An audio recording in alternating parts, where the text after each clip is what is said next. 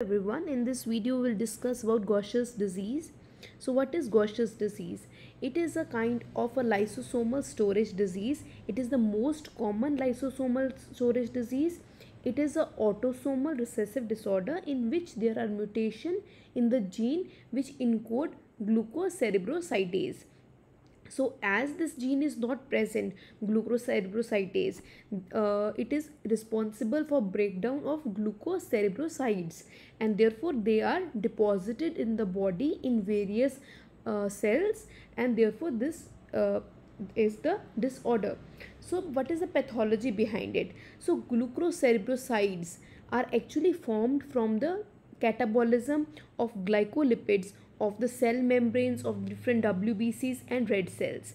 Okay, from the red cells, the leukocytes, the cell membranes, uh, we get the glucocerebrosides, and these are to be uh, broken down broken down by glucocerebrosidase which is defective in case of your uh, Gaucher's disease so therefore the glucocerebroside will now accumulate in various phagocytes, various macrophages of various organs such as your liver, your bone marrow.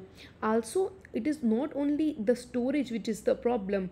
Uh, because the storage takes place in the macrophages, these macrophages will get activated and will also secrete various cytokines such as interleukin 1, interleukin 6, tumor necrosis factor and this will again cause the damage now going to the types there are various type of the Gaucher's disease okay depending upon the uh, uh, whether the disease is acute or chronic whether the cns is involved or not involved. Okay so going to the first type. Now this type is the most common variety.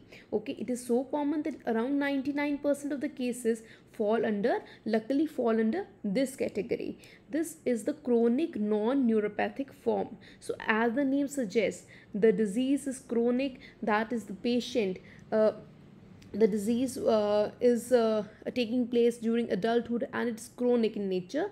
And also it is non-neuropathic. That is there is no cns involvement whatsoever in this case. So in this what happens is the storage of the glucocerebrosides will be limited to the mononuclear phagocytes. Okay it will be uh, uh present in the phagocytes and will not involve the brain uh, the things which will be involved are splenic spleen will be involved there will be splenomegaly present in these patients. You will have the skeletal involvement present so these will be involved. Uh, because uh, this uh, disease in this the glucocerebrosidase level they are not very low okay? They are low but they are not undetectable. And this is a, a non-neuropathic form. Here therefore the longevity of the person is shortened but the death uh, occurs late okay? So going to the type 2 now type 2 one is the more serious form. It is acute infantile neuropathic Gaucher's disease okay? So as the name suggests it involves the infant and it leads to death of the person at very early age. It is acute form and it is a neuronopathic form. That is there is cns involvement seen so here there is no detectable glucocerebrosidase activity in the tissues. You will see hepatosplenomegaly, you will see the skeletal disorder. But along with that, the thing which is uh, uh, is there is the progressive CNS involvement and this leads to the death of the person at an early age. Now the type 3, the last type is the variety which is intermediate between the 1 and 2. It is chronic okay no doubt about that but it is neurological variant also. That means the person will have systemic involvement along with cns disease but this cns disease is beginning at adolescence or early childhood uh, uh, early adulthood sorry. Okay so this is intermediate okay? Now going to the what is the uh, classical cells which we see in Gaucher's disease okay? So uh, classical cells which are seen which are diagnostic of the disease are the Gaucher's cells. Okay, for the diagnosis, if we want to make a diagnosis of the person uh, with the Gaucher disease, first is to check the enzyme level, the glucocerebrosidase level.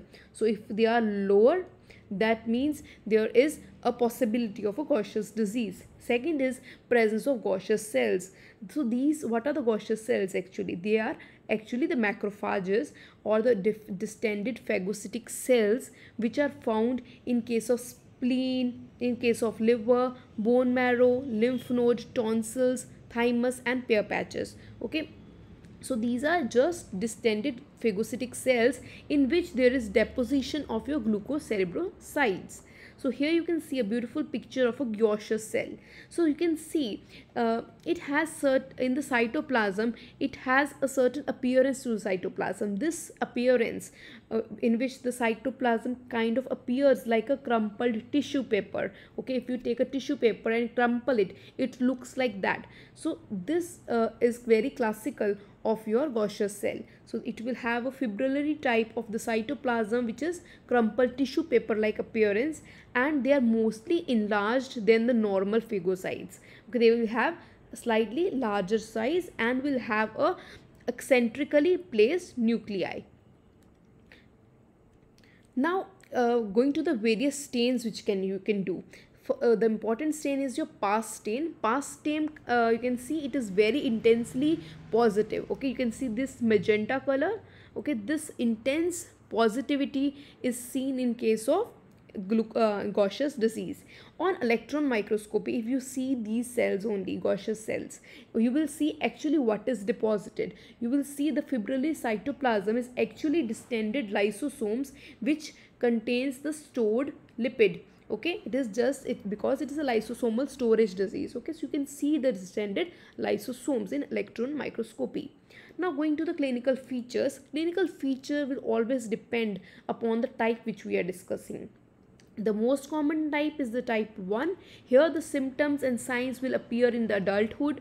Mostly there will be splenomegaly your skeletal involvement and because there's splenomegaly there are certain uh, clinical features which come due to any splenomegaly okay? So there are certain clinical features such as pancytopenia thrombocytopenia because there is spleen is active it will consume more cells.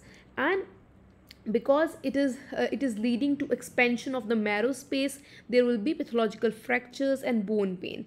These a person the good thing is it is the most common form and it the disease is always progressive in adulthood and therefore gives a long life to the person. Going to the type 2 and 3 here there it is dominated by the CNS involvement. So there will be uh, clinical features such as convulsions, mental deterioration and other organs are simultaneously being involved. So going to lastly, what is the treatment in this case? Treatment in this case firstly is the replacement therapy with the recombinant enzymes that is replaced with the glucocerebrosidase from outside and this is the mainstay of the treatment. This is a expensive treatment okay. So going to second that is the allogenic hematopoietic stem cell transplantation. This is a curative uh, treatment but again expensive. Then other things which are being explored is substrate reduction therapy okay? They don't allow the glucocerebrosidase to be for uh, glucocerebrosides to be formed. So this is also being evaluated. So this is uh, the basics of the Gaucher's disease. Do like share subscribe to this channel. If you like these types of video it will mean a lot. Thanks for watching this video. Thank you